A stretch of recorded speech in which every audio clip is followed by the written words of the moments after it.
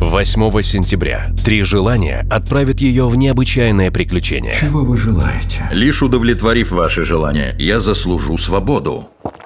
Он у меня поживет. Здрасте. По мнению критиков, первый фильм Джорджа Миллера после «Безумного Макса» — это исполнение мечты. Это история о женщине, встречающей Джина.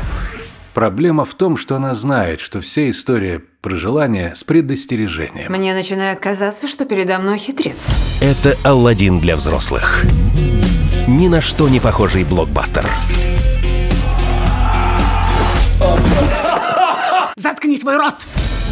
Желание, что она загадает, удивят их обоих. Найдите самый большой экран, чтобы с головой погрузиться в этот великолепный фильм. Не хотите этого маленького Альберта? Верните его назад. Это ваше желание? Нет, это ваша обязанность. Три тысячи лет желаний. Только в кинотеатрах с 8 сентября.